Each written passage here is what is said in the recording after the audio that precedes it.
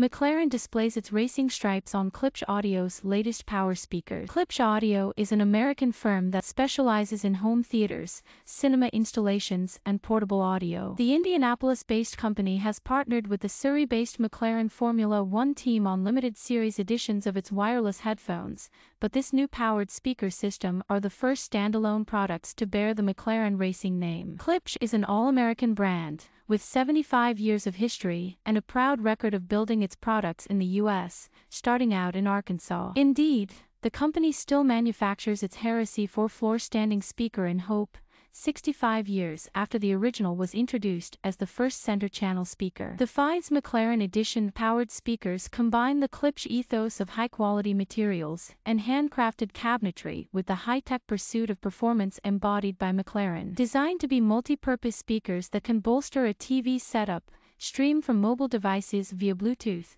or output to a subwoofer to be part of a larger setup, the Fives McLaren Edition incorporate a high-resolution audio DSP. The woofer cone is former from carbon fiber, which the company's audio engineers creates a detailed, deep, dynamic bass decreased distortion a big, bold sound stage. The speakers have a hand-applied matte black finish, with McLaren's vibrant papaya orange incorporated into the design, including on the tweeters, control panel and cable. There's another nod to the F1 paddock, with a stability pad that mimics racing tire tread pattern. Klipsch also has its own Connect app, which gives you a bunch of different sonic options, as well as over-the-air firmware update. 2022 is Klipsch's 76th year. In comparison, McLaren Racing is a comparative spring chicken, having been founded in 1963 by the New Zealand racing driver Bruce McLaren. At the firm's high-tech HQ in Woking, a stuffed trophy cabinet attests to its 20 Formula One World Championships and over 180 Formula One Grand Prix wins. This year,